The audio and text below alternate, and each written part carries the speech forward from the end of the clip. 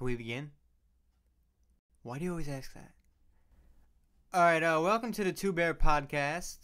Um, I am Freddy the Bear, and I am joined by Jimmy the Bear and a tortoise who don't speak. It's also it's the Halloween episode, so you know that's pretty cool. Yeah, I like Halloween. How about you, tortoise? Do you like Halloween? Hey, Freddy. Yeah. Uh, tortoise doesn't talk. Yeah, I know he never talks. It's kind of a shame, really, for a podcast. Anyway, don't you ever get the feeling every episode is exactly the same? Oh, it is. It is exactly the same.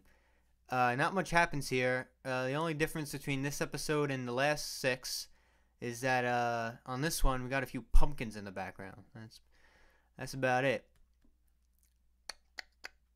Why don't we just uh, cut it here, though? Probably just cut it short today.